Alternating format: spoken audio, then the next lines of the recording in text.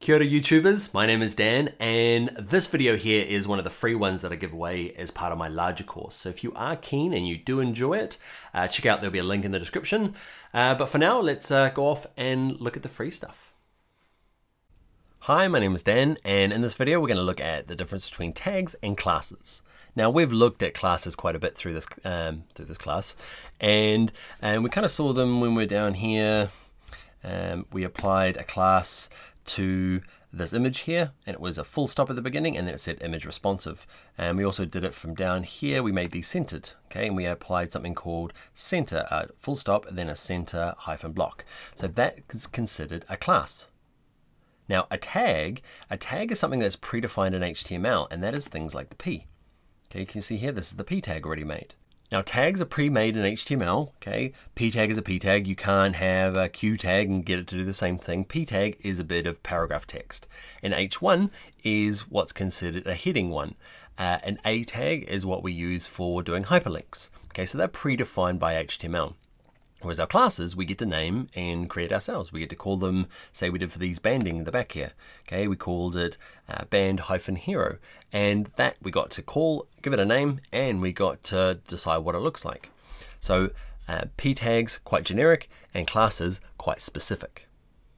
Now the reason we need both is that say that I've got two bits of p tags that I want them to be different. I want this text to be very different from the p tag in this one. If I style the p tag great, okay, but they'd be exactly the same. So what we do is we style kind of some generic styling to the p tag, it might be just the font and the color, and then we get to add classes to the individual pieces of text to kind of tweak it or change it a little bit. So let's go through and do that. Let's start at the top here and let's look at this thing that says let's make things awesome. And what we're going to do is change it from a p tag to a heading one. Okay, so it's going to be the main heading on the page. Now you can do it a few different ways. Uh, down here you can see it's a paragraph tag. Um, I could switch this to a heading one and you'll notice that it changes. Okay, might have to hit refresh. I do and becomes big bold. Okay, that's the default for H1s. We can go and style that, that's fine. Um, or I can click it up here. There's one here that says H1 or P tag. It doesn't really matter which way you go about it. Or say you prefer to do it in code, you can see down the bottom here, um, where we go. If I click in here, there's my H1, I click on it, it kind of highlights it down here in code view does normally. If it stops doing that, okay, it's done it for me, it stopped working. Sometimes Dreamweaver needs a bit of a file save all and then a close and a reopen. Okay, actually didn't need to reopen in this case. Um, so there it is there. I click on my H1 and it grabs it in the code there. So if you prefer to work in code view, you could change it, remember, in these two options, or you just go into the code view here and change the beginning. Okay, so I want this to be an H2 now. It's now an H2, except I need to close, do the closing as well. So you gotta make sure you do the beginning and the end. If I wanted this back to a p tag, watch this, delete that, you are a p tag. Make sure you leave the forward slash there and put it in a p tag and it's back to being a p tag. Okay, so either way you want to do it, I'm to put them back to h1. This is how you change the tags. Okay, so what I want to do now is I want to style this tag. So let's go and do that. I'm going to hit File Save All just to make sure we're all where we are. And let's go into our CSS Designer view. Let's put our style in our main.css and here it says selector. It might default to it. It's it's defining too much by default. You can delete everything here. You just want the H1. Or you can use up and down arrows on your keyboard. Up a few times, gets back just to style the H1. I don't want to style all the rest of the stuff, just him. So uh, I'm going to turn show set off. And so it gives me all the things I want to do to it. And what I'm going to do now is I'm going to go through and I'm going to pick, uh, let's leave the, go to the type. Okay, let's pick a color. Okay, and the color for this one is going to be the same as um, one of the boxes down here. Um, that guy there. And I'm going to steal it from that list of colors that we've got. There's our H1. I'm going to copy it. Make sure you get the hash as well. And let's go into Dreamweaver, H1, the color. Um, I'm going to replace it down here. You can pick any color you like. And you can see that I've styled the H1. And that's going to style all the H1s on every page. Generally, you only need one H1 per page. Okay, and now I'm going to go through and change the size. So it says font size medium. I'm going to change it to pixels. And instead of zero pixels, I'm going to make this one, let's say 20. Okay, actually, let's make it a lot bigger, 30. Great. Awesome. So that's how you go and style a tag. Now let's do the same thing for the p tag and have a look. Um, so the p tag down here, I want to style. So I've clicked inside here. Kind of sometimes clicking this kind of helps it know when we click new selector kind of guesses the right one. If it doesn't, say it guesses the total wrong one, you can just type in P and click enter. Doesn't really matter what you've got selected over here. Just type it in, hit enter, and I'm going to go through to my font and I'm going to change the color to white. Okay, so I've styled all P, it looks like I've styled just this one, but look down here, anything that is also a P tag, you see he's white now as well.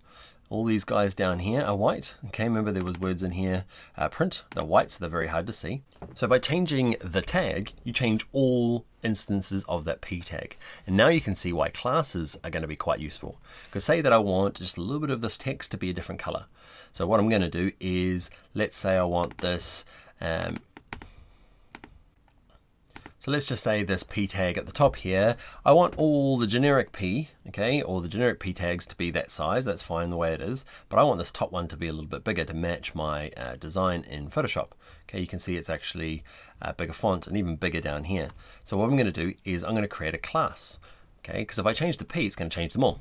So let's create a class. Let's in the main CSS, let's click on our selectors. I'm going to make one member full stop goes in front. That makes it a class and I'm going to call this one uh, first paragraph. First, actually, I like putting text to the front of it just to make it easier to find. Actually, I might, yeah, call it text and call this one uh, paragraph. Now let's call this one first para. Okay, and what I wanted to do is I wanted to change the size. So let's grab the font. Let's grab the font size. Let's pick a pixel and let's go into 16. Now nothing changes over here, right? Even though I had it selected. What we need to do with a class is once we've created it, is go over here, you see my p tag, you can add a class. And hopefully if you put full stop in and you start putting in text, then a hyphen, and then you put in F for first, and can you see? It's going to apply this one. And all he does, that little um, class, is change the font size. But you can get it to do all sorts of things you want to do, separate from the rest of the p tags. And can you see? This guy's still the original size, same with the guys down the bottom here. So you can leave the p tags alone just to do some broad kind of style changes and then real specific ones using classes. All right, and hopefully that explains a little bit about tags versus classes. Tags are predefined, already written things like the p tag or the h1, and then classes are used to modify those tags. So you do some basic adjustments to the tags and then little extra bits using the classes. Hey there, Remember, this video is a free extract from my course of more than 60 videos. So if you're serious about learning Dreamweaver, check out the link and below. If you like this free thing, give it a like, give it a share. I'd be really appreciative. Thanks. Hi da da.